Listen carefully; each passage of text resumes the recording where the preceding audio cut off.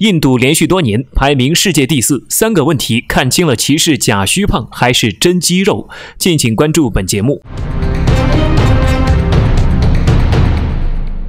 美国军事能力排行全球火力指数 GFP 发布二零二零年各国军事能力排行榜。根据全球火力指数七月二十一号发布的最新榜单显示，军事排名中，美国依然名列第一，其后分别是俄罗斯、中国、印度、日本、韩国、法国和英国。GFP 分别为美国零点零六零六，俄罗斯零点零六八一，中国零点零六九一，印度零点零九五三，日本零点一五零一，韩国零点一五零九，法国零点一七二零二，英国零点一七一七。全球火力指数根据人口、军事力量、军备能力、国防预算等五十个因素，对全球各国军事力量进行了排名。不仅取决于武装力量拥有的武器数量，影响排行榜的结果还有地理位置、交通系统的能力、自然资源开采、国家金融能力和军队人数。指数越接近零，便表示军事能力越强。核武器并没有被列入评价指标中。二零一九年，该排行中印度也位列第四，但其排名一直受到外界质疑，称其为虚胖。首先，虽然印度军费不断增加。二零一九年高达六百六十五亿美元，但实际用于采购武器的费用有限。印度退役空军元帅马萨斯瓦兰曾撰文指出，印度军费开支结构不合理，三分之二用于人员经费和支付养老金，